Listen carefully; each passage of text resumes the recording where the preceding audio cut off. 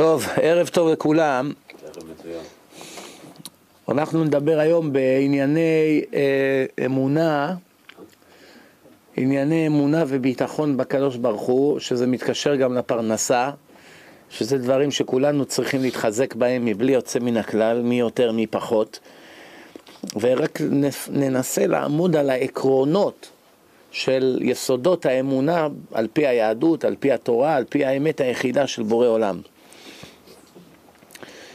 הרמח"ל בספרו המפורסם מסילת ישרים, שזה בעצם ספר המוסר אולי החשוב שנכתב אי פעם, פרק ב', הוא כותב דבר מאוד מעניין, צריכים לשים לב לכל מילה. אחת מתחבולות היצר הרע ועורמתו, הוא ערום, פיקח, כן? להכביד עבודתו בתמידות על ליבות בני האדם. עד שלא נשאר להם רווח להתבונן ולהסתכל באיזה דרך הם הולכים. כי יודע הוא שאילולי היו שמים ליבם כמעט קט על דרכיהם, ודאי שמיד היו מתחילים להנחם ממעשיהם, והייתה החרטה הולכת ומתגברת בהם, עד שהיו עוזבים החטא לגמרי. בואו נסביר רגע את זה בפירוש מילולי לעברית פשוטה. הקדוש ברוך הוא ברא עולם, כולנו יש לנו יצר טוב, יש לנו יצר הרע, היצר הרע כידוע מושך אותנו כל הזמן לדברים שליליים. דרכו של היצר הרע שהוא לא מסתפק אף פעם בעבירה קטנה. הוא רק מתחיל עם עבירה קטנה, ואיך שאתה מתחיל, נפלת ברשת, הוא מיד קובר אותך כמה שיותר וכמה שיותר, זה נקרא לפתח חטאת רובץ. איך שפתחת לו פתח, חטאת זה אחד משמותיו של יצר הרע, הגמרא אומרת, הוא מיד מתחיל למשוך אותך ולמשוך ולמשוך ומעביר אותך מעבירה לעבירה עד שאדם מאבד את עולמו, כן? זה דברים ידועים. איך מתגברים עליו? אז, אז השיטה של היצר הרע, הוא מתחיל עם האדם בקטן, רואה שהאדם נפל, מציע לו פיתיון יותר גדול, יותר, יותר, יותר, עד שכבר הוא מגיע, מביא אותו למצב שהוא אבוד, שהוא ממית לו את הנשמה, והנשמה היא כבר עמוקה, שקועה בבוץ עמוק מאוד, וקשה מאוד לצאת מהמצב הזה, כן? אחד השיטות של היצר הרע, שהוא גורם לאדם כל הזמן להיות עסוק בענייני העולם הזה. כל הזמן אדם הוא כל הזמן עסוק. שימו לב שאם אתה רואה, תראה כל בני האדם, בין העבודה שלהם, לבין החברים, לבין התחביבים, תמיד הם עסוקים במשהו. כמעט ולא מוצאים אדם היום בעולם שיושב איזה שעה, שעתיים ביום עם עצמו לבד בחדר. כל הזמן הוא בחברת אנשים, גם כשהוא לבד הוא תמיד בטלפון, אם הוא לא בטלפון הוא מול הטלוויזיה, אם הוא לא בטלוויזיה הוא שומע מוזיקה, הוא כל הזמן עסוק במשהו. אחת הסיבות שהאדם כל הזמן עסוק במשהו, כיוון שהאדם פוחד מעצמו. מה הפירוש פוחד מעצמו? ברגע שהאדם נשאר לבד עם עצמו, זה מתחיל לגרום לו למחשבות על חייו. מה אני עושה פה? מה יצא לי מכל זה עד היום? הוא מתחיל לעשות חשבונות נפש, והאדם פוחד מחשבונות נפש, לכן האדם כל הזמן עסוק בלגרום שעצמו לא ייוועד עם עצמו. זאת אומרת, זה כאילו שני אנשים, הוא והוא, כן? הוא לא רוצה לשבת עם עצמו, ולכן רוב בני האדם בעולם, אם תשימו לב, לא מכירים את עצמם.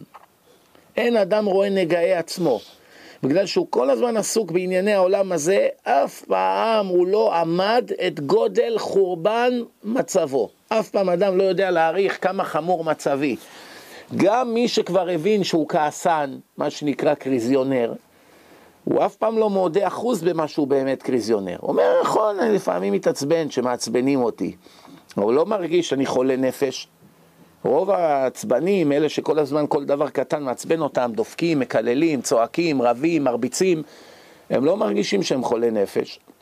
אם תקרא להם חולי נפש, גם אתה תקבל מהם סטירה. הם לא מסוגלים לשמוע את זה. מה? אתה קורא לי חולה נפש? מי זה הרב הזה קורא לי חולה נפש? רבנים אין להם אומץ לקרוא להם מה שהם. אבל אם אתה רק תרמוז לו, הוא כבר ייפגע עשרים שנה לא תראה אותו, כן? צריך בחוכמה. אנחנו מדברים באופן כללי, לא מדברים ספציפית עכשיו בין אחד לאחד. כל אחד, איך אומרים? המבין יבין. אני לא מכיר פה אף אחד, זה המקום פה פילדלפיה, פעם ראשונה אני נמצא בבית הכנסת הזה. איך מי שיבין יבין, ואני תמיד בדרך כלל מדבר לעצמי בראש ובראשונה, ואנשים שתמיד אומרים לי, מתי כבר תחזיר אותי בתשובה? אני אומר להם תשובה כזאת, לכולם אותה תשובה. ביום שאני אזכה להחזיר את עצמי בתשובה, אולי אני אזכה גם להחזיר את עצמך. אני לא בא לדבר בגבוה או מגבוה לנמוך, איך אומרים? לומדים ביחד. אז הנקודה היא שאנשים פוחדים להיוועד עם עצמם, בגלל שאז זה גורם להם לחשבון נפש, ודרכו של האדם שהוא פוחד מחשבון נפש. הוא לא רוצה להתמודד עם קשיים, עם דברים שיגרמו לו להרגיש רע, לכן הוא כל הזמן רוצה להיות עסוק בשעשועים, באלכוהול, בסמים, בששבש, בקלפים, בחבר'ה, בעל האש, בפיקניקים, בעבודה, קליינטים. העיקר שאני לא אצטרך כל יום לשבת עם עצמי ולחשוב על החיים ועל הרוחניות שבי. לכן אדם יכול לחיות 70-80 שנה, ואם נחבר ב-70-80 שנה כמה באמת הוא יתעמק במצבו בעולם הזה, בינו לבין בוראו, כמעט כלום. הכל ביחד אפילו לא שבוע, מתוך 70 שנה. תחבר, פה שעה הוא שמע, פה שם, פה הוא עשה חשבון, תחבר את הכל, תראה, הוא בקושי חי שבוע. והתורה אומרת, זה גם כתוב בספר יחזקאל, שהקדוש ברוך הוא אומר, חי השם, הוא נשבע בשמו, כי לא אחפוץ במות המת. כי אם בשובו מדרכו הרעב החי, אני לא חפץ להמית את המת, אלא אני מעוניין שהוא יחזור מדרכו הרעה, שיעשה חשבון נפש וישוב בתשובה, כדי שאני לא אצטרך להמית אותו, אבל בעצם הקדוש ברוך הוא קורא לאדם הזה מת. התורה היא לא טועה, אין טעויות בכתב. כאן כתוב לא אחפוץ במות המת.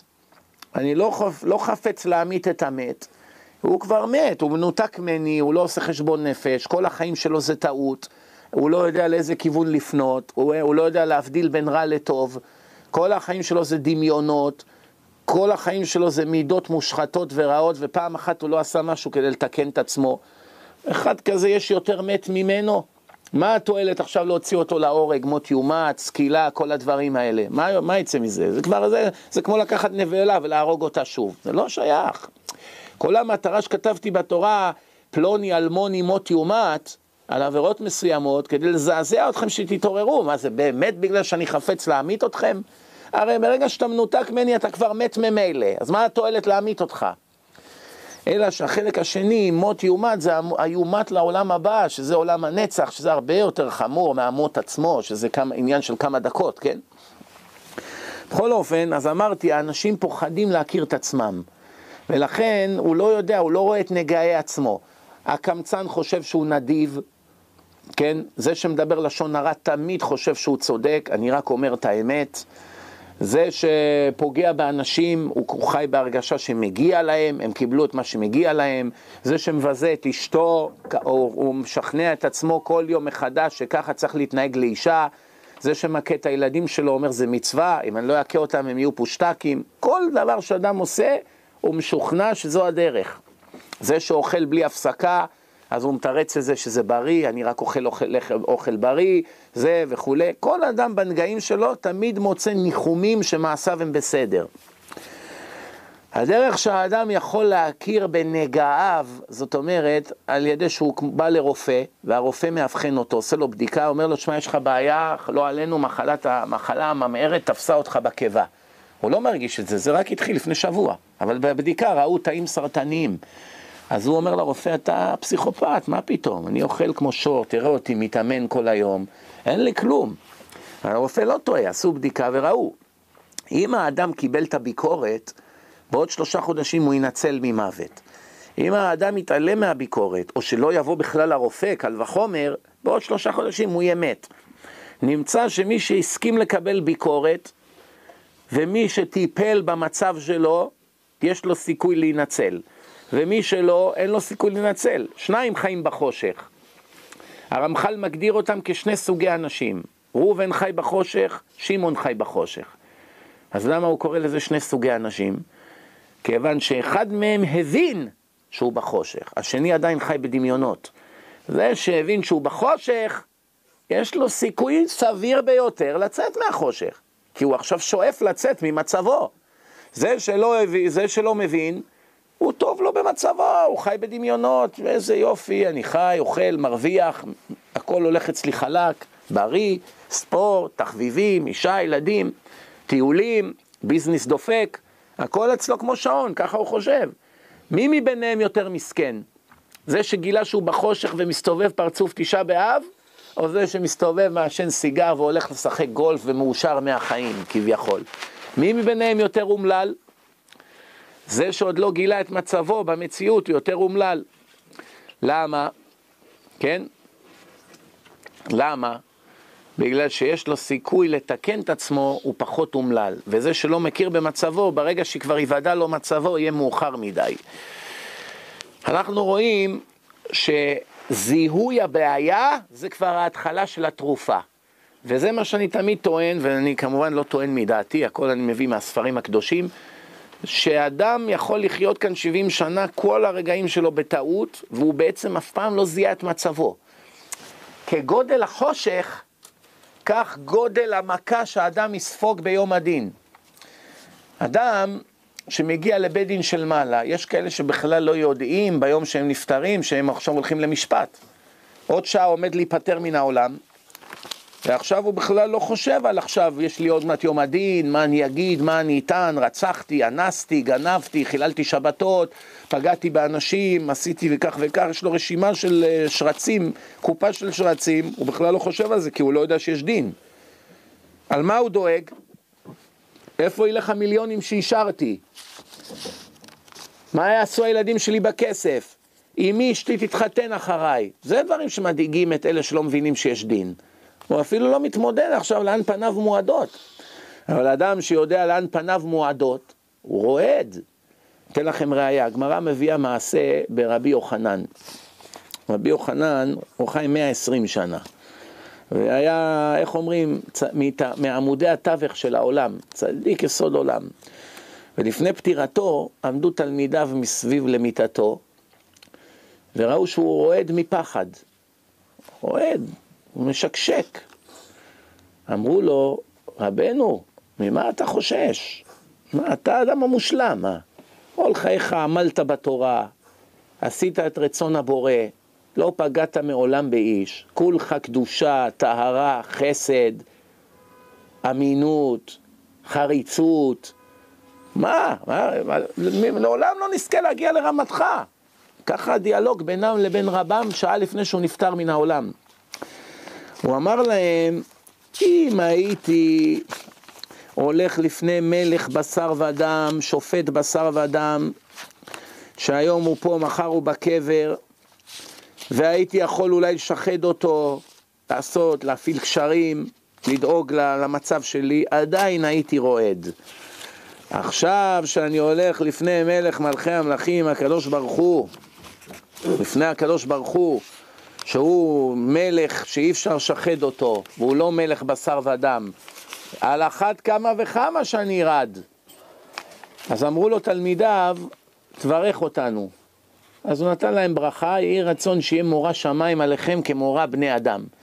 הלוואי שתגיעו למצב בחייכם שאתם תפחדו מהקדוש ברוך הוא כמו שאתם פוחדים מאנשים, משופט, משוטר, מפוליטיקאי, משכן רע. כמו שאתה פוחד מהאנשים, הלוואי שתפחד מהשם. זה היה המעשה. רבי חיים ויטל, שכל הקבלה שיודעים היום בעולם זה הכל בזכותו, הוא קבור בסוריה, הוא היה תלמיד של הארי, התלמיד, הארי אומר שהוא בא לעולם כדי ללמד אותו.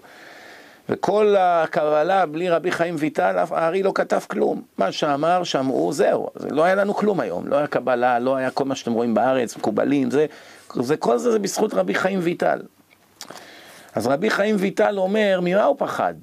פחד, אם לא רבי חיים ויטל אמר את זה, היינו צריכים לראות בכלל לחשוב על כזה דבר. הוא אמר, הוא פחד שכל חייו היו בטעות.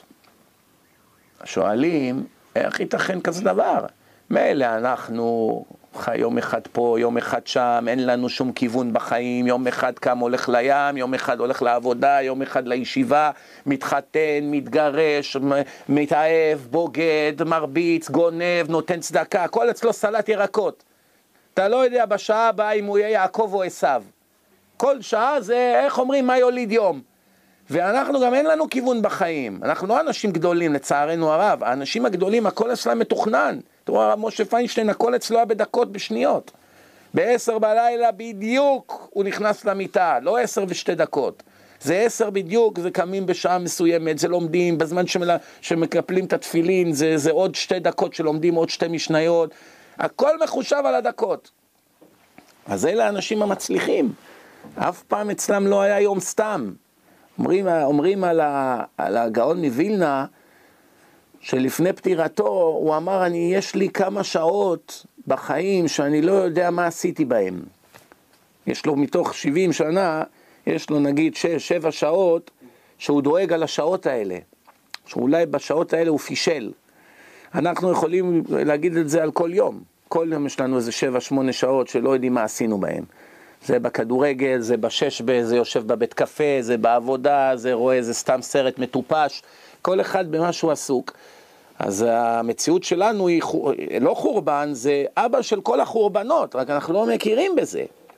ועד שאנחנו כבר מתחילים לחזור בתשובה, כלומר, באנו לסמינר, ראינו אמת, שמענו קצת מרצים, תמיד היצר הרע אומר לנו, אל תדאג, לא מדובר לאנשים ברמתך.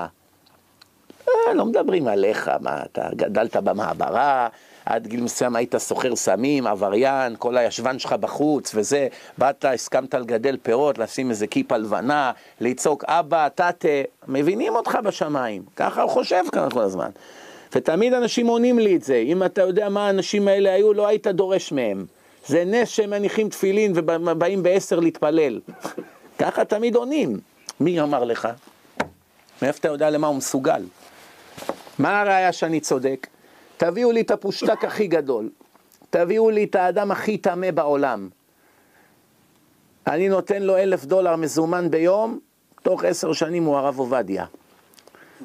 אלף דולר מזומן כל יום, שיבוא ילמד ברצינות ובוחנים אותו בסוף היום. מי שאתה רוצה. סוחר סמים, עבריין, פושטק, ארס, קיבוצניק, מי שאתה רוצה.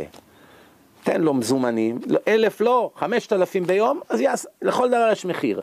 פעם אחד אמר לי, תראה, אני הכל בינתיים כבר עושה, מאז שחזרתי בתשובה, אבל שחרית במניין קשה לי להתפלל. אומר, למה? איפה שאני גר יש רק מניין אחד בשבע. אני לא יכול לקום אני בשש וחצי, מה אני, אחד שיושן מאוחר בלילות עד שאני נרדם, לא מסוגל. זה אני לא מסוגל, אז אני קם, מתפלל בבית יחיד וזה. גם טוב, לא? הוא אומר. אומר, כן, ברור, מה, עדיף מאחד שלא מתפלל בכלל, מה השאלה? אמרתי לו אחרי כמה ימים, תגיד, יש לי בשבילך יופי של הצעה. מצאתי לך מממן, איזה עשיר אחד, שהוא מוכן לעזור לך.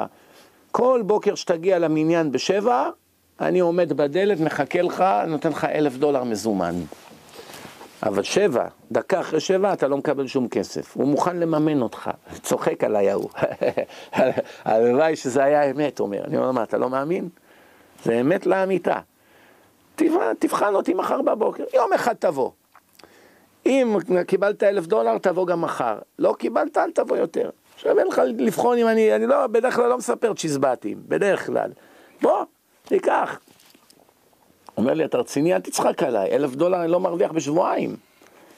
אמרתי לו, בבקשה, תנסה אותי, תבוא מחר, תתכנס לפני שבע לבית הכנסת, אלף דולר מזומן. אומר לי, דיל. רצתי לו את היד, אמרתי לו, נוכל, נוכל תחמן שכמוך. לפני דקה נתת לי חצי שעה דרשה, לא יכול, לא מסוגל, יושן מאוחר, זה לא, אני לא מסוגל. רק עשיתי לך ככה עם הניירות, כולך נהיית מסונבר, נהיית אריה. בחמש כבר היית בא. מה רואים מפה? שכל הטענות של אדם, אני לא יכול, זה הכל בלוף. אין לא יכול, לא משתלם לי. מישהו אומר לך לא יכול, תגיד לו ששש, לא משתלם לך. אבל זה הטעות גם, שזה כן משתלם לו, רק אדם לא מבין. למה הוא לא מבין? כי הוא לא לומד תורה. מי שיודע שיש תורה מהקדוש ברוך הוא ושם כתוב שהשכר הוא אינסופי על כל תפילה, על כל מניין, על כל קדיש, אז, אז הוא יודע שהוא מרוויח, אז משתלם לו. רק מה, אנשים רוצים לראות את התוצאות מיד. אין להם סבלנות לחכות 20, 30, 50 שנה. וזה מה שעושה השטן, היצר הרע. שימו לב, שוב. תחבולות היצר הרע, כן, ועורמתו, ערום כמו הנחש, הוא הסימן של היצר הרע, כבר בפרשה הראשונה בתורה. להכביד, להכביד את עבודתו בתמימו, בתמידות על ליבות בני האדם. עד שלא נשאר להם רווח להתבונן ולהסתכל, נמצא שמה הסיבה למחלה שלנו, לכל המחלות שאמרתי קודם, שאין לנו זמן להתבונן, לשקול, להשוות, ללמוד מטעויות של אחרים, לראות מה קורה בעולם, לראות מה השם חושב, למה השם עושה את זה, למה הכרתי את הבן אדם הזה, למה זרקו אותי מהישיבה, למה יש לי אויבים, למה אשתי מורדת בי, כל אחד והבעיות שלו, אף אחד לא עושה חשבונות, כל מקרה. כמו שאמרתי, מה יוליד יום, זה מה שיהיה. מחר יקראו לי למניין, אז אני אתפלל במניין. לא יקראו, אתפלל בבית. יהיה כשר, נאכל כשר. יהיה פחות כשר, נסתדר. אני אהיה בווגאס, בסדר, אז לא נתפלל במניין שבוע. אין לו, אין לו מגמה בחיים. מה שיוליד יום. אחד כזה בחיים לא יצליח. אין לו מגמה בחיים, הוא לא יכול להצליח. גם לא בביזנס, לא רק בדת. בכלום לא מצליחים, האנשים המפוזרים. תמיד אני אומר לאנשים, אל תתפזר על יותר מדי עסקים. בסוף תפסיד את כולם. תתמקד במה שאתה טוב בו, ובזה תשקיע את כל המרץ. לא צריך עוד ארבע, חמש. זה כמו אחד שיש לו חבית, והוא שם לה עוד ברז. החבית לא תביא יותר פרנסה. יש בה 100 ליטר יין, אם תשים שני ברזים, עדיין יש 100 ליטר מים. אם אתה חושב שאתה צריך עוד חנויות ונעליים ותכשיטים וזה, ובשביל שיהיה לך יותר פרנסה, טעות בידך. מה שהשם רוצה, הוא יכול להביא לך מהחנות הקטנה הזאת. ואם לא מספיק בדרך הטבע מהחנות, יביא לך את זה בדרכים אחרות. חיש גד, פיס, לוטו, אבא של אשתך, תמצא ארנק ברחוב. חסר דרכים? מה, חסר לקדוש ברוך הוא דרכים לשלוח? ואז אומר לך הרמח"ל, כי יודע הוא, היצר הרע יודע, שאלמלא האנשים, שלולא האנשים היו שמים ליבם כמעט קאט, מה זה כמעט קאט? 20 דקות ביום, זהו, לא צריך יותר מזה. על דרכיהם, ודאי שמיד היו מתחילים להינחם. מה זה להינחם? להתחרט. כן, ניחמתי, זה שברא, הקדוש ברוך הוא אמר, בני המעשה, יצר לב האדם רע מנעוריו. ניחמתי, הקדוש ברוך הוא התחרט, שהוא רואה אנשים איך הם מתנהגים, אמר, תן, תן לי להתחיל עולם חדש, כן? מתחילים להינחם ממעשיהם, והייתה חרטה הולכת ומתגברת בהם. מה זאת אומרת? כל מילה פה שקולה, זה לא אנשים פשוטים כתבו את זה, הרמח"ל היה אחד מהמקובלים הכי גדולים בהיסטוריה, שכולו היה קדוש עליון, כתב מעל 100 ספרים, רובם בקבלה עמוקה, רובם נעלמו מאיתנו, רק כמה מהם זכו, זכו בעולם שהתפרסמו. לא היה אדם רגיל, כן? אומר לך, הייתה חרטה הולכת ומתגברת, אם רק היית מתחיל לעיין על החיים שלך, שבוע, שבועיים, כל שבוע היה יותר ויותר ויותר, עד שהיית נהיה צדיק יסוד עולם. זה מה שאנשים לא יודעים, כולם שומעים, הרב עובדיה, הרב בן ציון, הגאון מווילנה, הרב משה פיינשטיין, החזון איש, כולם מדברים על ההצלחות שלהם. אף אחד לא מדבר על הנפילות, על המשברים, על הקשיים שהיה להם, על העליות והירידות. מה אתה חושב, מלאכים? גם להם היה עליות וירידות. מה אתה חושב, תמיד היה להם חשק ללמוד? מי אמר שצריך חשק בשביל ללמוד? הבוס אמר צריכים לעבוד. אין לי חשק לעבוד, אבל אני צריך את ה-200 דולר לחיות. אז אני הולך לעבודה, ותוך כדי העבודה נהיה לי חשק, נכון או לא? אדם עובד בחנות, אין לו חשק ללכת, אבל הוא צריך מחר המשכנתה, חייב ללכת לעבוד. יש קליינטים מחכים ליד הדלת, הוא חייב לפתוח את החנות. עכשיו שהוא פתח את החנות, מה יצא מזה?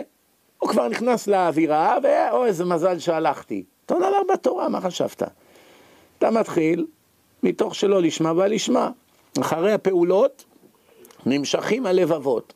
התחלת ללמוד חצי שעה, הביא לך חשק עוד ועוד ועוד, אמרת עוד עשר דקות, עוד עשר דקות, עוד חצי שעה, מה קרה בסוף? למדת עשר שעות שבכלל באת לחצי שעה, לרבע שעה. בואו נראה פירוש על דברי החזון איש. ככה כתוב, שימו לב ככה. האדם אינו מעוניין להיפגש עם עצמו. יש לו חרדה קיומית. מה זה? תכף נראה. על כן, הוא ממלא את זמנו בשעשועים ובעסקים כדי שלא יהיה לבד עם עצמו. אדם שאין תוכן נעלה לחייו הוא אדם עצוב. ככל שתוכן חייו מתעלה, הוא שמח יותר, הוא מלא חיוניות. בגלל שצריכים להבין, אי אפשר לעולם להגיע לאושר על ידי שמספקים את הגוף. רק על ידי שמספקים את הנשמה מגיעים לאושר ולשמחה אמיתית, לא להוללות, לשתות בירות וויסקי ולרקוד ככה על שולחנות, זה, זה סתם, זה מעשה קופים, זה לא נחשב אושר, זה לא נחשב אושר, גם אדם מאוהב יש לו איזה חברה גויה, זה אושר? זה סתם תאוות הגוף, מה יש בזה? זה הכל אושר מדומה. האושר האמיתי, כמו הסטייפלר שהיה גומר ללמוד כמה שעות, היה מחזיק את הספר ורוקד, והיו מציצים, התלמידים רואים אותו איך הוא רוקד בחדר מאושר כולו מת, מתמוגג. זה אושר, זה רק בתורה אפשר להגיע, אי אפשר להגיע לזה בשום דבר אחר, כן? ולכן כתוב כאן ככה, אדם שאין תוכן נעלה לחייו הוא אדם עצוב, ככל שתוכן חייו מתעלה הוא שמח יותר ומלא חיוניות. אלה החסרים תוכן רוחני, נעלה בחייו, כן? מנסים לשקר את עצמם ולעשות שקר בנפשם, בהתעסקות ללא הרף, כש, כשמתרחקים מהחלל הנפשי בו הם שרויים. זאת אומרת, יש פה, בואו נפרש את זה בעברית פשוטה. כיוון שהאדם לא רוצה להתמודד עם המשימה שלו בחיים, הוא לא רוצה אפילו להתחיל, הוא לא רוצה אפילו לגלות מה גודל החורבן, הוא כל הזמן עסוק בלהעסיק את עצמו עם אנשים. ואז כשנגמר לו החיים, עכשיו הוא צריך להתמודד עם הבעיה. לא תיקנת, צריכים לתקן ביזע ובעמל. אי אפשר לברוח. אין לי, אדם לא יכול. עתיד אדם ניתן דין וחשבון על שיחה קלה שהיה לו עם אשתו בחדרי חדרים. כל דבר ודבר. איך כל זה מתקשר לאמונה? מה הם אחד הסיבות העיקריות שאדם אין לו זמן להתעלות ברוחניות וביראת שמיים? מה הם? הדאגה על מה נאכל מחר. אבל הלוואי שזאת בדורנו הייתה הבעיה. בדורות הקודמים דאגו אם יהיה עצים להעסיק את הבית, כי היה קור אימים, שלגים, רוסיה, פולין, מקומות כאלה חיו יהודים, ב... ב... לא היה בתים אטומים כמו היום, תנורים, חימום, גז, כל הדברים האלה, חשמל. אז אנשים, היה להם, איך אומרים, חיי כלב. לא היה שירותים. אדם רוצה ללכת לשירותים 1-2 בלילה, שלג, 4 מטר שלג, צריך ללכת בין העצים שם להתחבות, אחד בלילה, אין אור, אין פנסים, נחשים, עקרבים, אה, שועלים, אדם צריך, אין נייר טואלט, אין כלום, יושב שם באמצע היער באחד בלילה, אחר כך חוזר לבית, כולו רועד, כל הבית רוחות, שלגים, ככה, אדם יורד לתוך הבית. איזה חיים היה לאנשים? אז מה היה בראש מעייניו של האדם? איך נחיה עד מחר בלילה? מאיפה נביא לחם, שלג, צריכים לחטוב עצים, זה עיקר, זה עם הכרכרה שלו. לא כמו היום, נכנס למרצדס שלו, מזגן, חימום, מפשיר, מעשן מקטרת, נוסע למשרד עם חליפה ועניבה ודואג. יש לו כבר מיליונים בבנק וכל היום הוא דואג מה יהיה לי לאכול, כן? פעם באמת המלחמה הייתה לשרוד עוד יום עם העשרה, שלוש עשרה ילדים שישנים כולם בחדר אחד בקור כלבים. היום רוב האנשים בעולם הם לא באמת עניים, יש להם מה לאכול, ויש כאלה שיש להם גם לחודשיים שלושה מה לאכול. וה, וה, והגמרא אומרת, מי שיש לו פת בסלו למחר ואומר מה נאכל, יש לו להיום, סליחה, ואומר מה נאכל מחר, הוא קטן אמונה, אין לו אמונה בקדוש ברוך הוא. לפי זה יוצא שכמעט אף דתי בעולם אין לו אמונה. אתם מכירים דתי שאין לו תוכניות חיסכון? שלא שם בצד לשעת צרה? אתם מכירים דתי שאין לו ביטוחים, פנסיות, כל מיני תוכניות, כל הזמן דואג מה יהיה, איך נחתן את הילדים? אתם מכירים... או, צריך לחתן את הילדים, ראיתם? אז כולם דואגים. אני לא מבין, בזמן המדבר לא היה צריך לחתן את הילדים? לא היה צריך שיהיה להם מקום לגור? כל הזמן היה צריך לגור. מה השם אמר? אל תשאיר למחר. אסור לחסוך. אסור לחסוך, השם אמר. תאכל היום. כן, היום תאכל, אל תדאג למחר. לא, אני אומר, היום מנה עולה 50 דולר. אני אגיד לך משהו, תשמע טוב. אתה לוקח את העץ של השכן. אתם, לא, אתם, אתם שוכחים דבר אחד, אתם שוכחים, סליחה. סליחה, אתם שוכחים דבר אחד. אתם חושבים שלקדוש ברוך הוא יש איזה מגבלה חס וחלילה. שאם מנה הייתה עולה 20 דולר אז אפשר להסתדר, אבל אם היא עולה 200 דולר, אז עכשיו לקדוש ברוך הוא יש איזה קושי להביא לך את מה שאתה צריך. זה שטויות. הקדוש ברוך הוא בכל דור ודור, בכל אדם ואדם, בכל מצב ומצב בעולם, לפי המצב במציאות, נותן לאנשים את קיומם. זה מה שכתוב מתשרי, כן? מזונותיו של האדם קצובים לו מראש השנה לראש השנה. לא כתוב כסף, כתוב מזונותיו. אם חתיכת סטייק עלתה לפני 100 שנה 20 אה, אגורות, והיום היא עולה 15 דולר, אז הקדוש ברוך הוא נותן לך בהתאם למחירים של היום, הוא לא נותן לך לפי 100, 100 שנה 20 סנט, תקווה תמות ברעב. אותו דבר במנות בחתונה. אם מנה בחתונה עלתה בזמנם, חתונה עלתה 100 דולר, והיום חתונה עולה 20 אלף דולר מינימום, הוא מסדר לך לכל הילדים את מה שצריך, אמנם בקשיים, אמנם ביזע, בעמל, בהלוואות, הכל טוב ויפה. מה הכלל? מה הכלל? הכלל הוא שבסוף כולם מסתדרים. כולם מסתדרים בסוף. מעולם לא ראינו, אני לא זוכר כזה, אני לא מדבר עכשיו שהיה חורבן, חורבן בעולם, שיש גזרות, טרגדיות, פרעות, שואה וכאלה דברים, לא. מדובר עכשיו בדרך הטבע, שהעולם כמנהגו נוהג, מעולם לא ראינו יהודי שמת ברעב. ולא לשכוח, אנחנו העם היחיד שכמות נכבדת ממנו רק לומדים. זה לא רק היום, תמיד היו למדנים שרק למדו ולא עבדו ופרנסו 13-14 ילדים, כן? זאת אומרת, אצל הגויים אין כזו מציאות שאדם שיכול לעבוד יבחר ללכת ללמוד כל החיים. אין כזה דבר, זה רק אצלנו. בכל העמים יש חוק חינוך חובה עד כיתה י"ב, 12 שנים, זהו.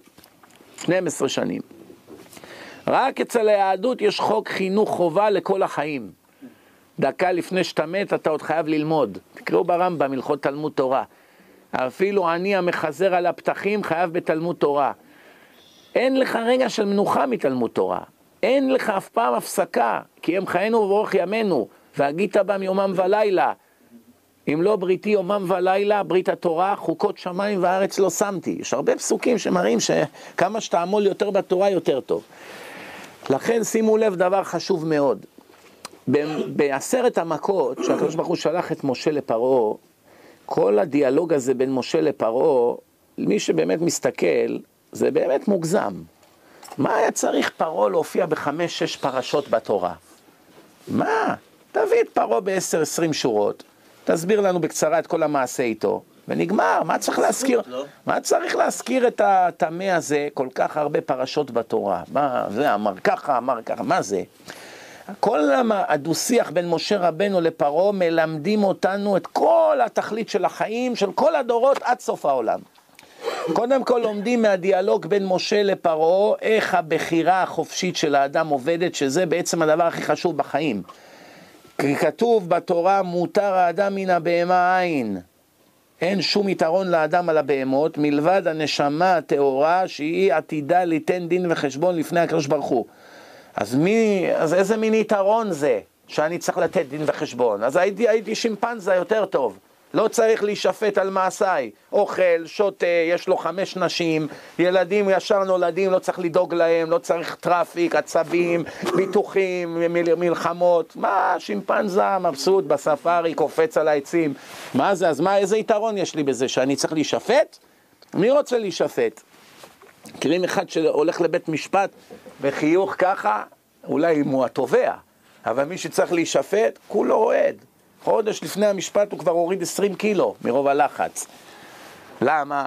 כל הגוף שלו הוויות, רעידות, כשהוא נכנס לבית משפט הלב שלו דופק 200 בדקה. למה כל זה? מי אוהב משפט? אז מה, כתוב בתורה שזה יתרון לאדם. אלא מה כתוב כאן?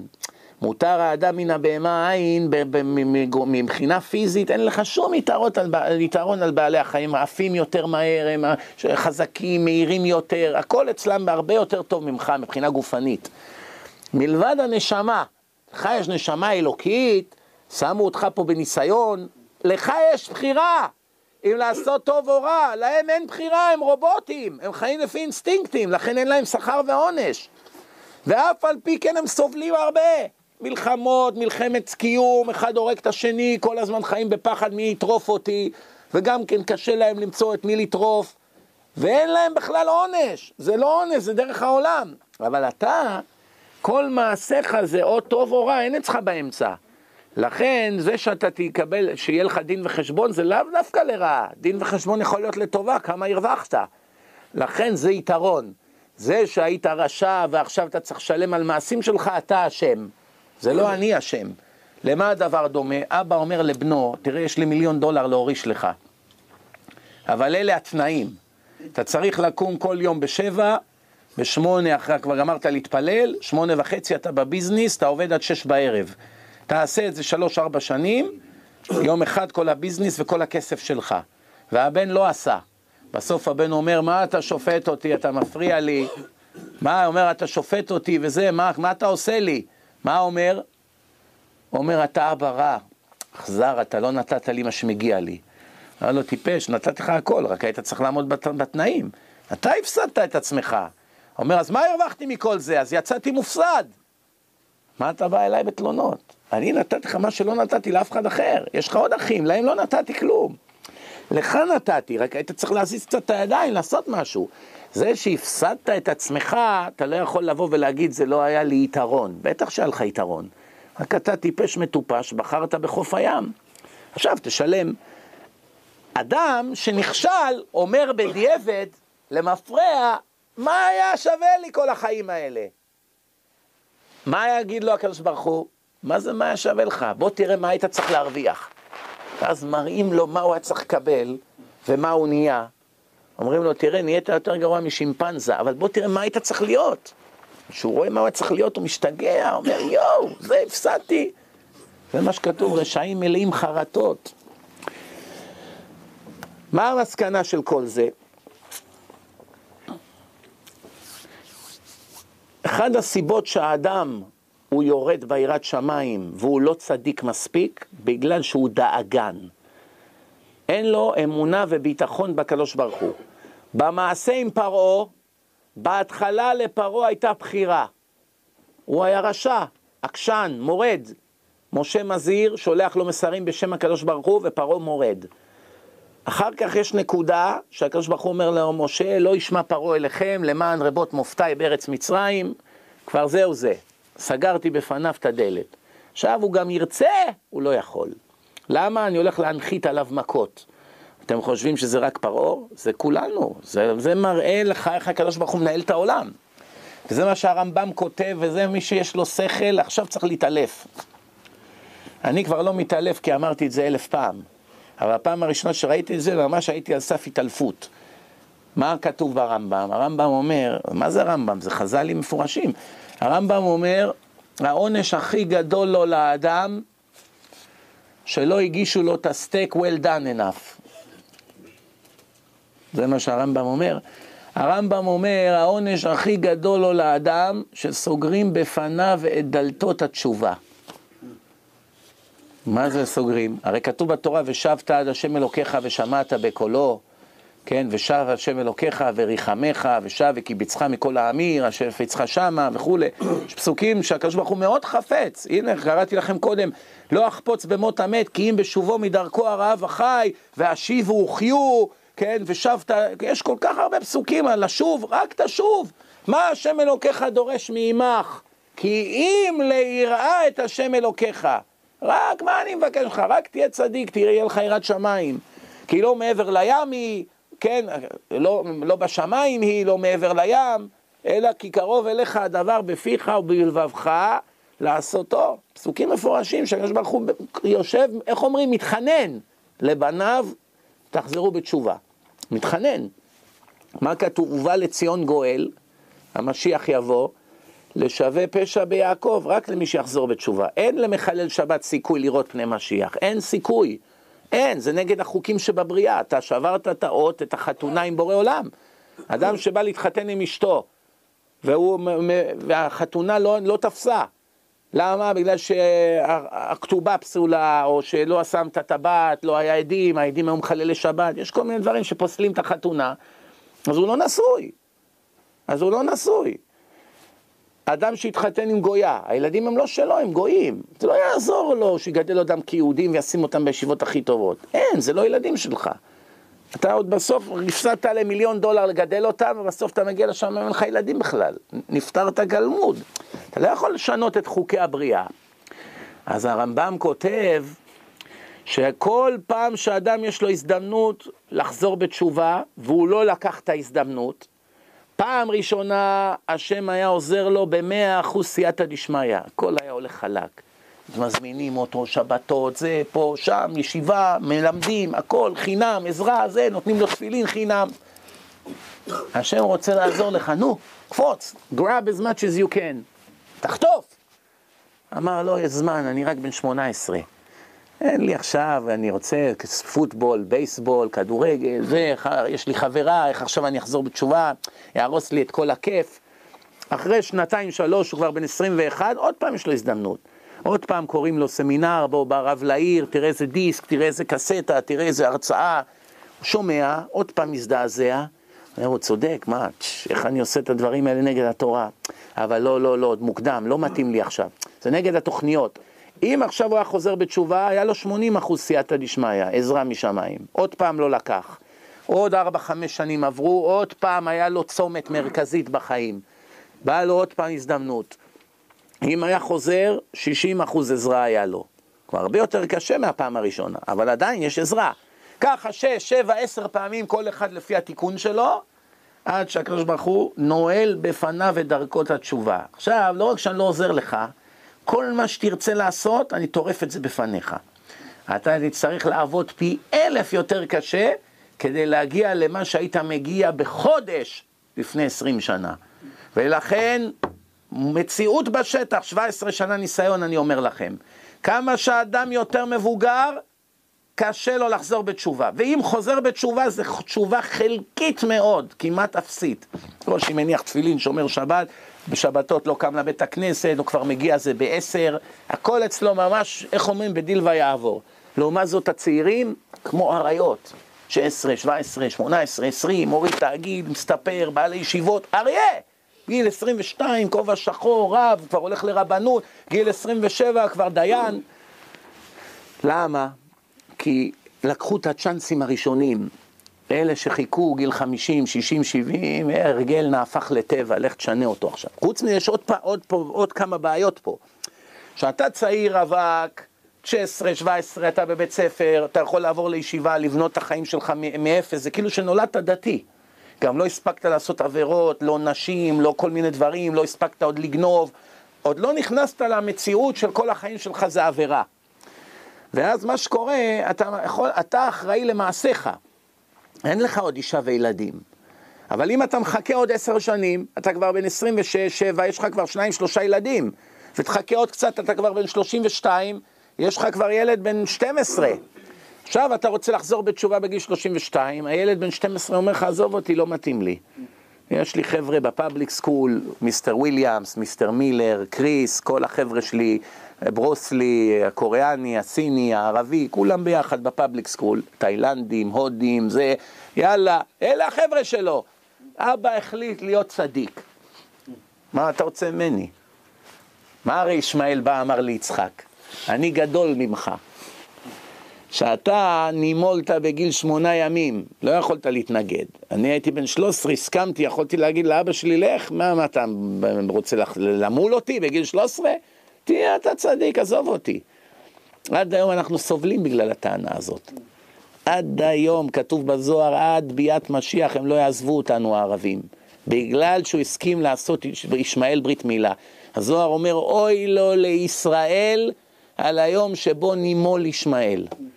שעתידים בני ישמעאל לעכב מבני ישראל בחזרתם לארץ הקודש. אבל כשם שהמילה שלהם, הברית מילה שלהם, פגומה, היא לא מושלמת, כי הם עושים רק מילה בלי פריאה, כך האחיזה שלהם בארץ הקודש היא גם כן זמנית. עד שיבוא המשיח לא יישאר מהם זכר. בינתיים הם חוגגים. נחזור לעניין שלנו לפני ש... רק ענה לו תשובה יותר טובה. מה? הוא אמר לו, יופי, אתה אמרת בגיל 13, אני מלתי בגיל שמונה ימים, ואם הקדוש ברוך הוא יגיד לי שאני הולך לעקד, אני הולך לעקל, ואז הקדוש ברוך הוא החליט, אתה יודע מה? נכון, זה מה שאמרת? יפה, יפה, יפה. בכל אופן, אני רק הבאתי את זה כנקודה להבליט, שיש לך ילד כבר בן 12, 13, 17, הוא כבר אדון לעצמו. אז קשה לך, למה אתה פוחד לאבד את המשפחה, אשתך לא רוצה. הרבה באים אליי, אומר לי, אני מת, מת, מת לחזור בתשובה. היא לא נותנת. אני עומד להתגרש, ויש כאלה שהתגרשו ונלחמו כל החיים שלהם בבתי משפט, והיא רוצה שהילד יגדל קיבוצניק, והוא רוצה שהוא יגדל חרדי, ובעיות וצרות. אם היית עושה זה שבע שנים קודם, לא היית מתחתן עם המרשעת הזאת. מזווגים לו לאדם זיווג לפי מעשיו. היית קיבוצניק, נתנו לך קיבוצניקית. היית ארס, נתנו לך ארסית. היית מחלל שבת, נתנו לך מחללת שבת. היית פלגמט, נתנו לך פלגמטית. עכשיו נהיית בן אדם, היא נשארה פלגמטית, זה לא יעזור לך. זה מה שנקרא, סוגרים לו לאדם את דלקות התשובה. בכל מקרה, אנחנו מתמקדים בעניין אחד, שזה העניין הכי חשוב להיום, בעניין האמונה. כשאדם אין לו אמונה בקדוש ברוך הוא, אז הוא כל הזמן טרוד בענייני הפרנסה. ואז ממילא לא נשאר לו זמן, לא לתפילות במניין, לא ללימוד תורה, הוא כל הזמן עסוק בפרנסה. ולפעמים השטן מראה לו עצר הרע, הנה תראה, בזכות שאתה עובד שעות נוספות, בזכות שאתה עובד שבעה ימים בשבוע, כבר שמת עוד 200 אלף דולר בצד. מציאות. הנה, אתה עובד והחבר שלך דתי, ואתה יש לך יותר כסף ממנו. יש לך בית יותר טוב, יש לך מכונית יותר טובה, ותראה, הדתי, הוא כל הזמן עסוק במצוות, חגים, חול המועד, אין לו הרבה זמן. ואז עובר עוד כמה שנים, ופתאום ההוא לא עלינו, איזה ניתוח, צריך מומחים והכל, חצי מיליון דולר, הכל ברגע נמחק. בסופו של דבר, לא יוצא לו לא כסף ולא עולם הבא. וההוא שבטח בקדוש ברוך הוא, אם השם היה רוצה שיהיה עשיר, חסר לקדוש ברוך הוא כסף. הרי אחת הטעויות הכי רווחות שיש אצל בני האדם, שזה אין לך טיפשות יותר גדולה מזאת. אין, אין דבר יותר מטופש מזה. זה שאדם חושב כל הזמן, אם אני אשמע בקול השם, אני אהיה עני. אם אני אשמע בקול השם, אני אהיה מסכן. אם אני אשמע בקול השם, החיים שלי יהיו משעממים. אין לך טעות יותר גדולה מזאת. זה הרי לא, זה דבר שהוא אפילו בשכל לא נתפס. איך בני אדם כל הזמן חושבים. כל הזמן אנשים אומרים, אני אסגור את הביזנס בשבת, אני אפשוט רגל. לא יהיה לנו מה לאכול. איך ייתכן שאתה בא ועושה את רצון בורא עולם? מקריב למענו, ואתה חושב שהוא ישיב לך רעה תחת טובה? מה, הוא חבר כנסת? מה הוא? מה, חש... מה אתה חושב, את הקדוש ברוך הוא? שבסופו של דבר אתה תפסיד מהמעשה הזה? איך ייתכן שאדם פוחד על כזה דבר? זה לא ייתכן. תאר לך שהילד שלך, אתה אומר לו, לך תנקה את האוטו, קח שואב אבק, סבון, מברשת, תעבוד שעתיים, תנקה את האוטו לפסח, שלא יהיה חמץ. תאר לך שהבן שלך אומר לך, לא, לא, אבא, אני פוחד שאם אני אעשה את זה אתה תכניס לי סטירות ותרביץ לי ותשבור לי את העצמות. באותו יום אתה הבנת, הילד הזה הוא לא נורמלי, הוא צריך טיפול פסיכיאטרי. איך עולה בדעתו שאני אשלח אותו לנקות, במקום שאני אתן לו איזה 100 דולר פרס, שילך לאיזה טיול או משהו, יקנה לו איזה משהו שהוא חולם עליו, איך הוא בכלל חושב שעל זה שהוא יעזור לי ויעבוד בשבילי, אני אשבור לו את העצמות? איך הוא הגיע למצב כזה? אז, אז משהו לא נורמלי אצלו. הוא לא יכול להבדיל בין טוב לרע. ויש הרבה כאלה שעברו אביוז, ילדים, שעשו להם כל מיני דברים, ובאמת הם לא יכולים להבדיל בין טוב לרע, הם לא יכולים להתחתן, לא יכולים לקיים מערכת יחסים, לא יכולים להיות אחראים, לא יכולים, אין להם ביטחון עצמי, כל החיים שלהם זה על הפנים, כדורים, פרוזה, כדורים נגד דיכאון, גמרו להם את החיים. המסקנה בעניין הזה היא כזאת, שימו לב טוב. בענייני אמונה וביטחון בהשם, אנחנו מחליטים מה יהיה לנו.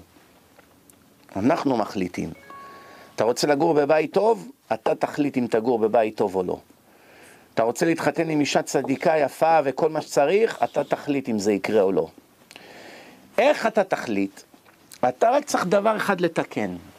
אתה צריך לתקן את רמת האמונה שלך בבורא עולם. למה? הקדוש ברוך הוא מעוניין לתת לכולם. איך אומרים? למי לזרוק היום? למי? למייחלים לחסדו. רוצה השם את יראיו, את מי השם רוצה? את אלה שיראים אותו, עושים לו חשבון. למייחלים, אתם מבינים מה זה מייחל? מתחנן, כולי תקווה, מייחלים לחסדו. מי היום צועק אליי, תן לי, תן לי. כמו עכשיו שאחד שבא, נגיד, בזמן, בזמן הרעב, היו מביאים משאיות עם שקיות של קמח. עכשיו אחד עומד במשאית, רואה את כל העניים ככה. למי בא לו לזרוק את השקית? לאיזה אחד שצועק, תן, בבקשה, תעזור. ישר הוא זורק לה, אבל אם אחד עומד שם ככה, ככה, אה, תן, לא תן, אז הוא אין לו חשק לתת לו. טבעי לחלוטין. למי שזועק להשם, איך אומרים, שערי דמעה לא ננעלו. למייחלים לחסדו, אני נותן. שומר השם את כל אוהביו, השם הקדוש ברוך הוא יש לו אינטרס. אין, הקדוש ברוך הוא לא יזיק לך לעולם אם תהיה, תבטח בו, תאמין בו. לכן הכל זה רק עניין של אמונה. ברגע שהאמונה שלך מתעלה, כל הצרות שלך בחיים נגמרים. ואני אסביר לכם מה הכוונה.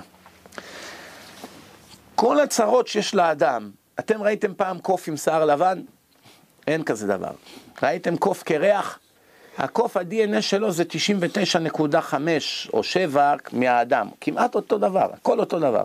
הוא רק קצת יותר שעיר, כל השאר, שרירים, עצמות, מוח, הכל אותו דבר. איך זה שקוף אף פעם לא קיבל התקף לב מדאגות? אדם, הודיעו לו שהביזנס שלו נשרף. מיליון פעם כבר קרה שאדם קיבל איזה בשורה רעה שעולה לו הרבה כסף, קיבל התקף לב ומת.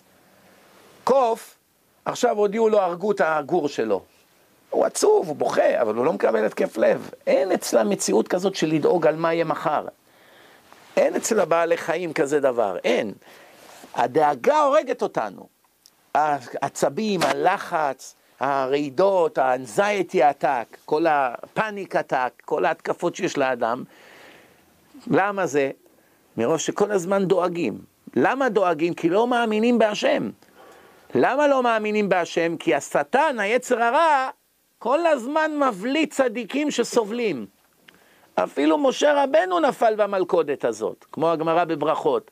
משה אמר לקדוש ברוך הוא, צדיק ורע לו, רשע וטוב לו, הקדוש ברוך הוא התחיל לנהל איתו דו-שיח, להסביר לו. א', בכלל אין כזה דבר, צדיק ורע לו, רשע וטוב לו. אין, זו שאלה לא לגיטימית.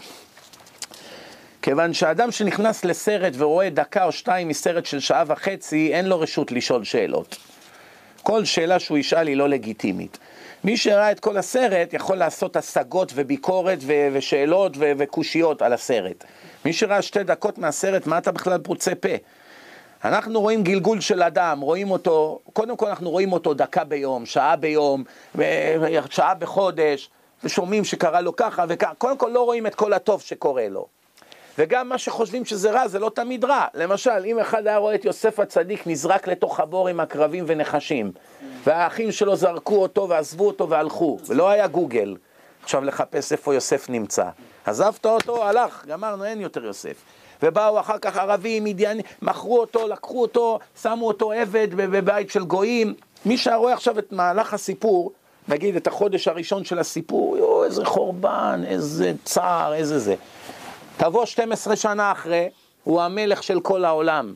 כל הכסף של כדור הארץ היה ביד שלו.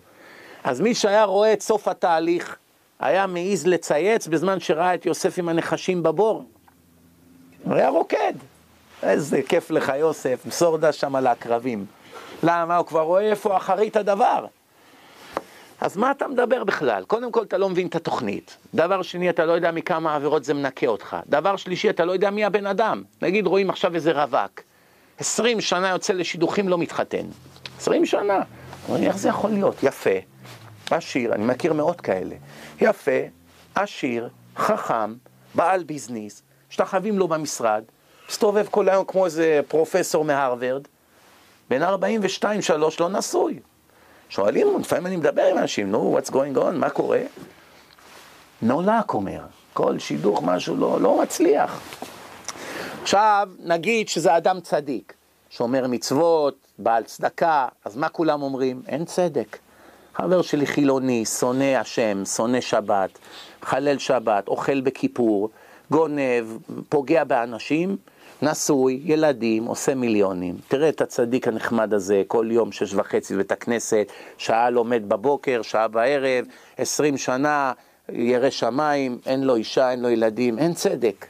נכון? ככה אנשים מדברים. אז זה מחליש את האנשים באמונה. אז מה התשובה לכל אותם שוטים, שוטים בטית? אם עכשיו הקדוש ברוך הוא היה מדליק וידאו ומראה לך את אותו נחמד עכשיו, מי הוא היה בחיים הקודמים שלו. עכשיו אתה רואה סרט, בן אדם היה נשוי ארבע.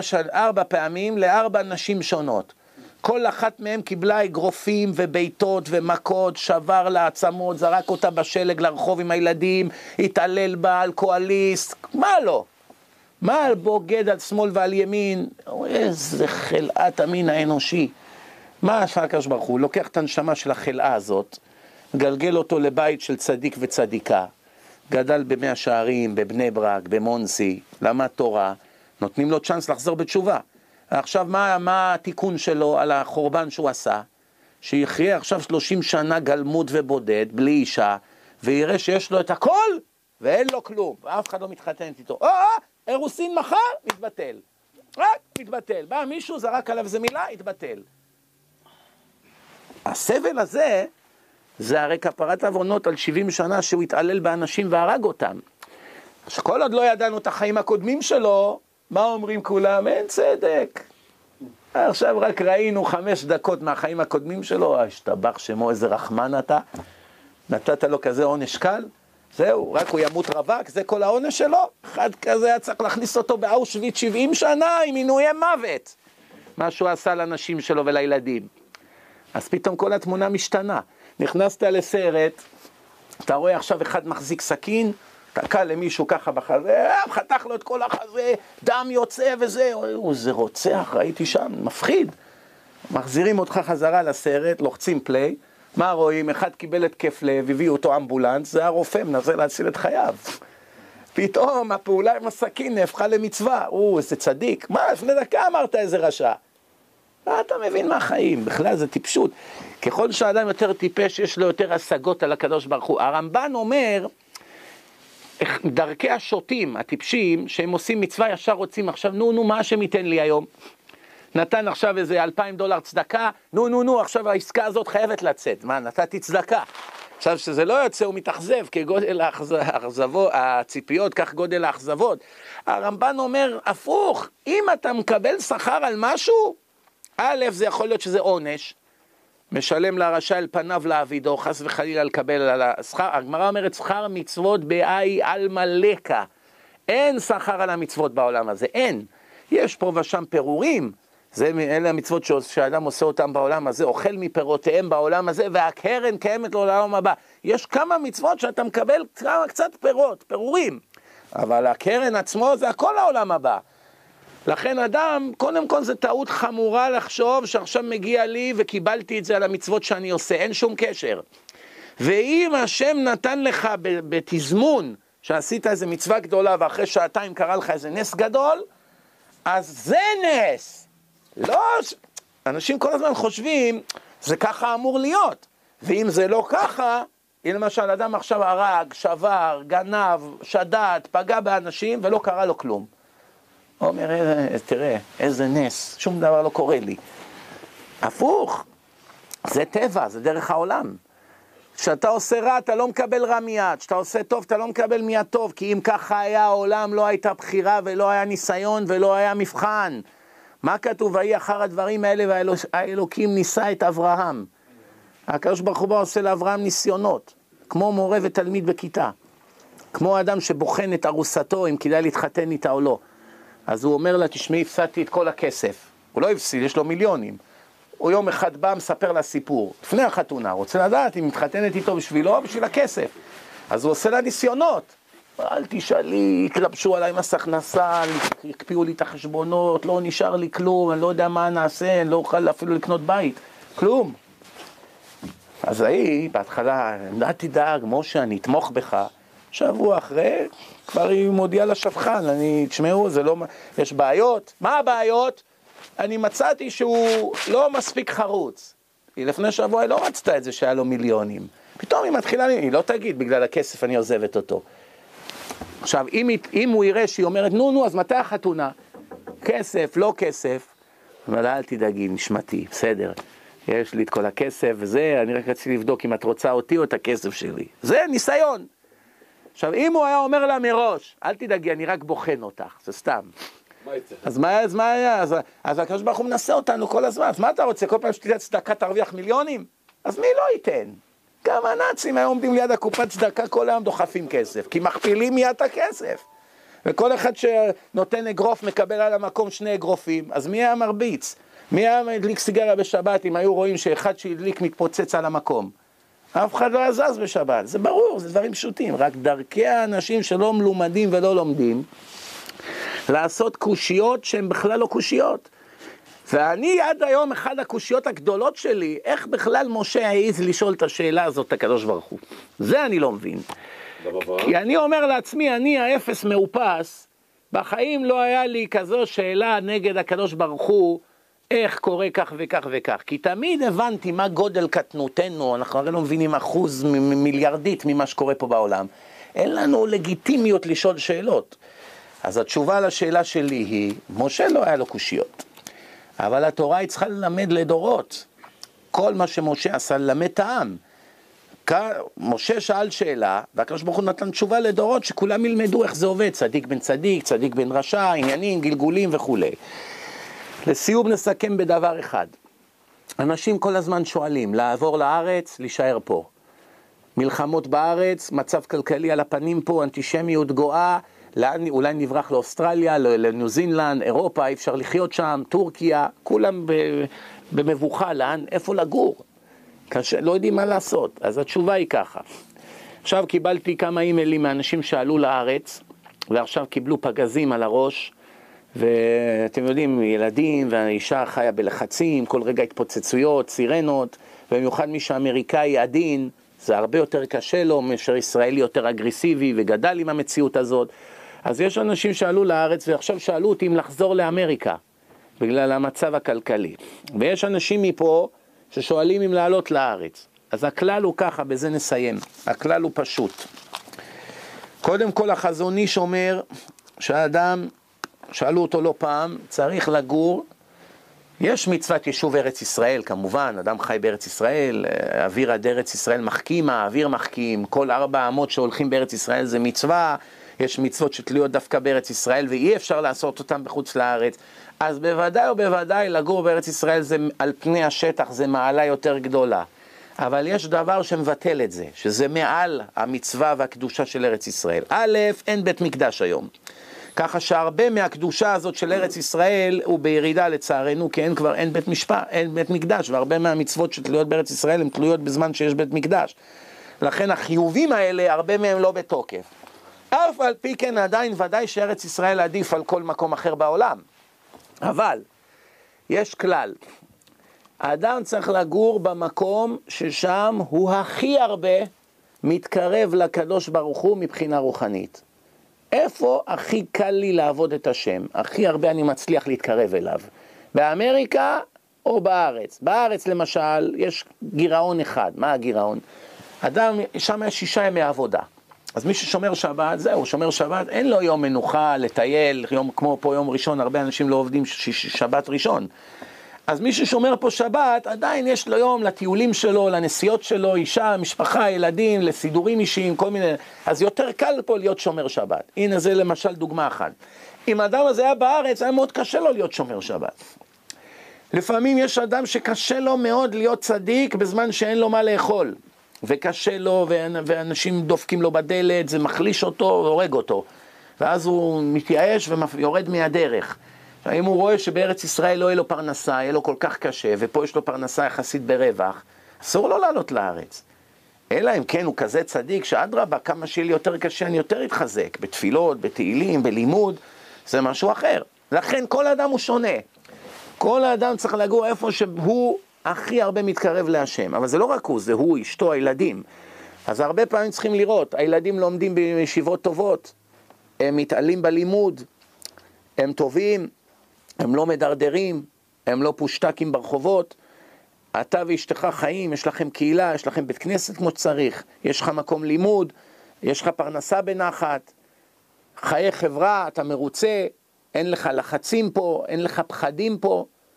דבר כזה לעולם לא מחליפים באולי יהיה לי טוב בארץ.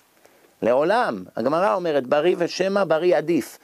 מה שוודאי כבר ביד, ומה שאולי יהיה, אסור להמר על האולי. לא, לא מומלץ, אסור, זה עבירה, אפילו אם תצליח בסוף, עשית עבירה. בריא ושמא בריא עדיף. יש עכשיו שני דרכים.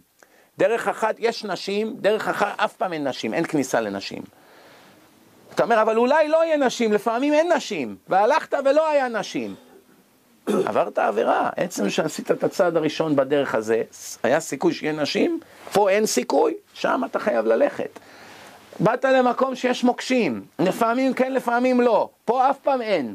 אסור ללכת במקום הזה. חייבים, זה הלכה, זה לא המלצות, זה הלכה. אם אתה עובר משם, השם יעניש אותך, בעולם הזה או בעולם הבא, אחד מהם. גם אם עברת, וגם אם עברת במקום שהיה סכנה, כן, היה מוקשים, ולא דרכת עליהם, מורידים לך מהזכויות, מנקים לך מהזכויות. עכשיו, אדם שהוא פחדן מטבעו, או נופלים טילים, פגזים, הוא לא יכול לתפקד. לא יכול ללמוד, לא יכול כלום, הוא כל הזמן בלחצים, במקלטים, זה, אז מה התועלת בזה שהוא עובר ממקום של תורה ויראת שמיים ולומד ומארח ועושה חסדים וכולי, למקום שעכשיו הוא יושב וסובל. מה התועלת שבזה? לכן הכלל, תזכרו מה הכלל, הכל לפי גודל הביטחון והאמונה בהשם. אלה שסובלים בארץ מהטילים, מותר להם לרדת מהארץ חזרה לפה. אלה שלא פוחדים, סומכים על השם, חיים בביטחון, גם אם הסירנה בזה, אין להם שום דפיקות לב, אין להם שום לחץ, הם יכולים לשבת במקלט ועדיין עם הגמרא, הכל כרגיל, אז למה שירדו? אז הם יכולים לתפקד כרגיל, בוטחים בהשם, אז ודאי שעדיף להיות שם. אבל אלה שמגיעים למצב כזה, או לא הם, האישה שלהם, אשתו כגופו, אתה לא יכול להתעלם ממנה. האישה שלך סובלת. בקיצור, אנחנו רואים פה שהכל זה עניינים של אמונה. כמה שרמת האמונה שלך יותר גדולה, אתה יכול להשליך את יהבך על הקדוש ברוך הוא. אבל אם אתה חי בדמיונות שיש לך אמונה, מישהו חייב לך 100 דולר, אתה כבר מוכן לרצוח אותו, אתה כבר מחפש איפה הנשק, ואחר כך אומר, אני בוטח בהשם, נעלה לארץ, יהיה טוב. מה פתאום, אין לך שום אמונה בהשם. לא יהיה טוב, יהיה רע. לא יהיה טוב, בגלל שהשם רואה שאין לך שום אמונה בו, זה סתם דיבורים ונאומים. שהרבה באים אומרים לי, אתה לא מכיר אותי, איזה, איזה אמונה יש לי בהשם, איזה צדיק אני. רק אומרים לו, תן צדקה. לא, מה, זה הרבה, מה, לא יכול. איפה האמונה? מה קרה? או גונב בביזנס, או מרמה את הגויים. אז איזה מין אמונה זאת? זה סתם נאומים. פוחד כל הזמן. נגיד עכשיו הוא הזמין ארבע, ארבע אורחים, אומרים לו יש עוד איזה שלושה אורחים שאין להם איפה להיות בפסח. עושה חשבון, כל אחד יעלה לי 200 דולר, מצות, זה, זה, עוד 600 דולר. אומר להם, לא, אני, תראו, אין לי מקום בשולחן, כבר הזמנתי מישהו אחר. למה? הוא מפחד. מה, איפה האמונה בהשם? מה, אתה הולך עכשיו להציל יהודים שאין להם איפה להיות בחג, אתה דואג שלא יחסר לך? שהשם ייקח לך את זה? או לא, אתה לא סומך עליו שעוד חצי שנה, שנה, שנתיים, ארבע, באיזושהי צורה הוא יכניס לך את זה בבאג'ט? אז סימן שאין לך אמונה. אז מה אתה עכשיו פתאום מחליט? פה פתאום הוא בעל אמונה, פה אין לו אמונה. אין כזה דבר. מי שיש לו אמונה הוא כל הזמן מאמין. אף פעם לא דואג, אף פעם לא בודק בחשבונות, אף פעם לא אכפת לו, אף פעם לא מטלפן למי שחייב לו כספים, אף פעם לא מאיים, אף פעם לא בא לעמוד לידם להזכיר להם, אף פעם לא יגיד מילה רעה על מי שגנב לו, כלום. אמונה, זאת אומרת, זה, מה זה אמונה? שימו לב, אמונה פירושו, אני יש לי כספת, יש לי את הקוד, זה רק שלי, ויש שם כמה כסף שאני רוצה. למה? כל העולם של השם. זה נקרא אמונה. אז אם יש לי כספת שיש שם כל הזמן, השם כל הזמן מלא שם כסף. היה אכפת לי, מישהו גנב לי 100 דולר? אני אלך ניקח מהשם. ייקח לי מיליון דולר, ניקח מהשם. אז זה מדרגות, לא עכשיו בא לתת לכם להגיד שאנחנו ברמה הזאת. אבל זה באמת אמונה. אני מכיר אנשים כאלה. אני אומר לכם, אני מכיר אנשים כאלה, שהיה להם ניסיון, אחד בא לרב שטיינמן, נתן לו צ'ק 100 מיליון דולר בישראל. מה אמר לו? אומר לו, כבוד הרב, הנה צ'ק לעזור לאברכים שלומדים בישיבות להיקלט במעגל העבודה והתעסוקה במדינה. קשה, אין עבודות, להכשיר אותם, ללמד אותם מחשבים, לעשות קורסים לחרדים, שיוכלו למצוא פרנסה. אמר לו הרב שטיינמן, לא מעוניין, תודה, קח את הצ'ק חזרה. 100 מיליון דולר, צ'ק. למה? אומר לו, תראה, כתוב בגמרא שאלף נכנסים לבית המדרש, אחד יוצא תלמיד חכם. מכל אלף, אחד, זה היה אז, לפני 800 שנה, שהתוספות כתב את זה. היום זה אחד משמונת אלפים, אבל לא משנה, נגיד אחד מאלף, בסדר, אחד מאלף נהיה הרב עובדיה, נהיה אחד מאלף, בסדר, נגיד. אז הוא אומר, אנחנו עכשיו צריכים בכל עיר הרבה רבנים, בכל שכונה, רבני שכונה, רבני עיר, רב חברת קדישא, רבנים בכשרויות, צריכים אלפים של רבנים. תלמידי חכמים אמיתיים, לא סתם אחד שעושה הצגות. אז אם אחד מתוך אלף יוצא חכם, צריכים כמה שיותר בחורי ישיבה. עוד אלף ועוד אלף, הנה העוד אלף האלה יולידו לנו עוד איזה רב גדול. והאלף האלה יולידו עוד, אתה עכשיו רוצה שנוריד אלפים? עכשיו בכלל, מה זה תעסוקה? אומר, אדרבה, מי שעני יותר צדיק. עדיף שישארו עניים.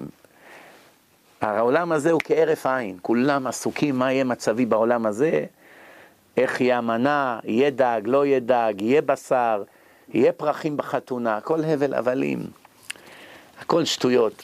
זה הכל עניינים של אמונה, ואני אסיים במשל של דקה, תשמעו טוב ותבינו את תכלית החיים מהמשל הזה. אני אחד היה רעב, לא אכל שעות רבות. הוא הולך ברחוב, רואה וילה יפה עם מזוזה. דופק בדלת, פותח לו איזה עשיר אחד, אומר לו כן, אומר לו אני רעב, תן משהו לאכול, לא אכלתי כבר יומיים. אומר לו אין שום בעיה, אני אתן לך ארוחה שבחיים שלך לא חלמת שתקבל. אז אני אומר נו נו, אומר לו רק בתנאי אחד, אני לא אוהב לתת דברים בחינם, אני ביזנסמן, תרד אליי למרתף, שם בלאגן, אבק, הכל על הרצפה, יש שם מדפים, תנקה את כל המדפים, תשים הכל מסודר, שעתיים עבודה, אחרי זה אני נותן לך ארוחה, משהו שתתפוצץ. מה יעשה אני? הוא חייב, לי, הוא פוחד למות. ירד למרתף, עבד, עבד, שבר את עצמו, עלה כבר גוסס. אומר לו, הנה בוא תראה בית מרקחת, המרתף שלך נהיה. אומר לו, עשית עבודה יפה, כל הכבוד, עכשיו תורי לקיים את מה שהבטחתי, אתה רואה פה מעבר לכביש, את הווילה הזאת? אומר לו, כן. אומר, תיכנס שמה, איך שאתה נכנס, תראה שולחן ערוך, עופות, דגים, סלטים, מה שאתה רוצה. תאכל, תשתה, ינות, וויסקי, מה שאתה רוצה יש לך שם. תאכל, תתפוצץ. אומר לו, אני, תודה רבה, כל הכבוד, וזה, עובר את הכביש, נכנס, כמו שהוא אמר. דגים, בשרים, מה, מרקים. אוכל ואוכל ומכניס בכיסים ועוטף בכל מיני צלחות. הוא עומד לצאת, עומד שם איזה אחד בקומה שנייה, אומר, בחיים שלי לא היה לי אדם כזה כפוי טובה פה. הוא מסתכל עליו, אני אומר לו, מה זאת אומרת כפוי טובה? אומר לו, אפילו תודה לא אמרת. אף פעם לא היה אדם שאכל כמוך פה, ועוד הולך בלי להגיד תודה. אומר לו, אני, אתה עוד אומר לי שאני כפוי טובה? הרגתי את עצמי בשביל הארוחה הזאת. שעתיים כמו עבד עבדתי. אתה לא נתת לי שום דבר מתנה, קניתי את זה בכסף. אומר לו ההוא, מה? מי מכיר אותך בכלל? איפה קנית? מה נתת לו? נתת לי פעם משהו? אומר לו, מה זאת אומרת? אני עבדתי, ניקיתי את כל המרתף ממול שם. אומר לו, אה, גם עליך הוא עבד. אומר לו, מה זאת אומרת עבד? אומר, יש שם איזה עשיר קמצן, כל פעם שדופקים לו לצדקה, נותן להם לעשות איזה עבודה בבית, ושולח אותם אלינו לאכול. פה זה בית תמחוי, יא אהבל. זה בית תמחוי פה. כל מי שבא אוכל, חינם. זה המשל. מה הנמשל? העולם הזה, העולם הזה הוא בית תמחוי. הקדוש ברוך הוא זה זה שעמד למעלה במדרגות, הוא הבעל הבית של הבית תמחוי, וכל מי שרוצה בא ואוכל. אבל יש כאלה שהם בוחרים ללכת לעבוד כדי שיוכלו לבוא לאכול בבית תמחוי. אבל מי שפיקח, הוא בא ישר לבית תמחוי. תן לי לאכול, אני רעב. זה ההבדל בין אדם מאמין לאדם חסר אמונה. מי שהאמונה שלו שואפת לאפס, הולך לעבוד עשר שעות ביום, עובד שעות נוספות, ככה תוכניות, עצבים, בתי משפט, גנבות, גזלות, אה, אלימות, איומים. למה? אין לו שום אמונה, אז הוא כוחי ועוצם ידי, עשה לי את החיל הזה. יש פסוקים על אחד כזה בתורה. הוא אומר, בזכותי הצלחתי, הייתי באוניברסיטה, אם לא, איך הייתי מתפרנס? אבל מי שיש לו אמונה בקדוש ברוך הוא, הוא לא מבזבז את הזמן על עבודה. רק בעשיית מצוות, לימוד תורה, יראת שמיים, זה כל מיני עניינים. אז הוא גם אוכל, זה אוכל וזה אוכל. זה אוכל בזכות האמונה שלו, צדיק באמונתו יחיה. מה אמר חבקוק? חבקוק העמידם על אחת. צדיק באמונתו יחיה. לא כמו שהחילונים אומרים, איש באמונתו יחיה, אין כזה פסוק. צדיק באמונתו יחיה, בזכות האמונה הוא חי. מה, מה המקצוע שלך? כלום. שום דבר. מה, איך אתה חי, איך אתה מתפרנס? אני משליך את יהבי על השם. מה כתוב? אשלך יהבך על השם. והוא יקלקלך. השם יקלקל אותי, כלכלה באה מהקדוש ברוך הוא. ואנחנו רואים את העניין הזה בפרשת המן. השם אמר לא להשאיר למחר, ואלה שהשאירו למחר, וירום תולעים, וירום תולעים ויבאש. גם לא שמעו בקול השם, וגם כל החסכונות שלהם נמחקו. ואם אתם חושבים שזה היה פעם בדור המדבר, יש לי חדשות בשבילכם. אני הייתי בבלגיה, יש לי שם איזה ידיד, יהלומן אחד, הוא התחיל לספר לי מה הולך שם. שם יש בורסה של יהלומים משגשגת, שבינתיים ההודים כבר כבשו 70% ממנה. הוא אמר לי, אל תשאל, הרבה מפה עברו לארץ. לא בגלל שהם בחרו לעבור לארץ, פשוט ברחו משם. למה? פה ממשלת ארצות הברית החליטו להתלבש על כל העשירים שהחביאו כספים בשוויץ. באו לממשלת שוויץ ולבנקים, אמרו אתם חייבים לפתוח בפנינו את הפרטים של כל התושבים האמריקאים שיש להם חשבונות אצלכם. רוצים לראות כמה הם החביאו מהמס הכנסה. עכשיו, כל השנים הבנקים השוויצריים התהדרו, אצלנו אתה מבוטח, זה מקלט, מקלט למעלימי מס. ככה היה גם בארץ, כל העשירים, הרבה העבירו את כל הכספים שלהם לבנק אה, הפועלים. רגע, רגע, כולם הבריחו כספים לחוץ לארץ. פתאום ממשלת ארצות הברית קיבלו את הרשימה מהבנקים השוויצריים, עשרות אלפי שמות, כמעט כולם יהודים. הולכים עכשיו לאחד אחד, כל יום, כל שעה, תופסים קורבן חדש, סורי, אשכנזי, פרסי. רק לפני איזה חודש קיבלתי טלפון מאיזה פרסייה צדיקה, אנחנו צריכים ישועות מהר, אתה יכול להביא לי 20 מזוזות, מה קרה? אח שלי, מה יש לאח שלך? באו אליו מהמס הכנסה עם באץ', לא פקידים מזמינים אותך לחקירה, כבר באים אליו, כבר יודעים עליו הכל משוויץ. מצאו 50 מיליון דולר שהוא החביא ב-30 שנה שהוא עובד בתכשיטים. באים אליו עם הבאץ', אתה עצור.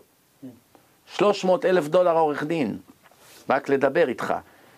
באים לו עם הבאץ', אזיקים ליד כל האנשים, לוקחים אותו באמצע מנהטן, ככה עם... אה, שומעים? עכשיו הוא נזכר להיות דתי. פתאום שואל תפילין, פתאום מזוזות, אף... אז היא אומרת לי, האישה, אני לא מבינה, היא אומרת. היא מסכנה, לקחה... היא עכשיו בוכה עליו. הוא כל החיים אמר שאין לו פרנסה. לא ידעתי שלאחי יש 50 מיליון דולר, איך זה יכול להיות? 50 מיליון דולר, אנחנו בקושי גומרים את החודש, שומעים?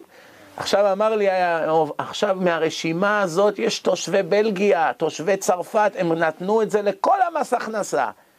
מה הקדוש ברוך הוא אומר לנו? אתה חשבת שהכסף והזהב יציל אותך? שאתה תחביא כספים ולא תיתן צדקה ולא תתמוך בישיבות, גם זה לא יישאר לך. זה מה שכתוב בנביא, גם כספם וזהבם לא יושיע אותם.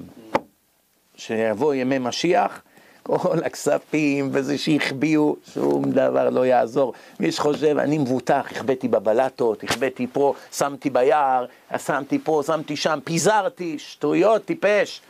אתה יכול שיש לך כספים מוחבאים בכל העולם, יבוא איזה גוי, ישים אותך, יסגור אותך באיזה בור, עד שתמות ואף אחד לא ידע על הכספים שלך. זה מה שקרה לרוטשילד. זה מה שקרה לרוטשילד, זה מה שקרה לספרא. מה קרה לאדמונד ספרא מסכן? נשרף בתוך הבית שלו בגלל כל ה securities, לא ידעו איך לפתוח את הדלתות. כן, וזה מה שקרה לכל הערבים הגנבים, כל הדיקטטורים. סדאם חוסיין, 40 מיליארד דולר, מצאו אותו בבור עם קינים, גידל זקן, כמו. הבן איש חי, להבדיל מיליארד אלפי הבדלות. כן. היה לו ברזים מזהב. אם היית מוציא ברז אחד מהשירותים של סדאם, אתה מסודר, אתה והבנים שלך ל-70 דורות, מהעושר שהיה לו. השח הפרסי, 40 מיליארד דולר, באמת כמו כלב. מת כמו כלב. קדאפי 200 מיליון דולר, 200 מיליארד. דולר, איך, איך טעיתי כזאת טעות. 200 מיליארד דולר, בביוב. הרביצו לו, בעטו בו כמו כלב. אתה יודע. כן, אומרים שהוא יהודי. איפה מצאו אותו? בביוב. תראה מה קרה למובארק. שומעים? שומעים? מובארק, 70 מיליארד דולר, שמו אותו ככה, כל העולם רואה אותו שוכב במיטה כמו מסכן. זה המציאות, רבותיי. כל אלה שהחביאו, החביאו. אני אף פעם לא הבנתי איך יכול להיות שבן אדם שיש לו 40 מיליארד, 80 מיליארד, 70 מיליארד, עדיין ממשיך לגנוב. די, כבר יש גבול לכל דבר. מה? אתה כבר בן 70! יש לך 40 מיליארד. מה, תספיק לבזבז את זה. תחלק לילדים. הילדים שלך כבר הם עשירים בחייהם. למה התועלת להמשיך לגנוב? זה אני לא מבין. בסדר, הגעת לאיזה מציאות שכבר יש לך כסף לחיות אלף שנה, אם היית יכול. מה התועלת להמשיך לגנוב? לא חבל? זה כמו לקחת את הכסף ולשרוף אותו. אין מה לעשות בו. אין, אין מה לעשות בכסף. גרידי. זה ממש, זה מה שכתוב, יש לו מנה רוצה 200, 200 רוצה 400. בעזרת השם, אני מקווה שהשיעור הזה יהיה חיזוק באמונה לכולנו. תודה רבה כבוד הרב, תודה רבה מאיר שהזמין אותי לפה, ובעזרת השם אנחנו ניפגש בקרוב. ברוך אדוני לעולם, אמן ואמן.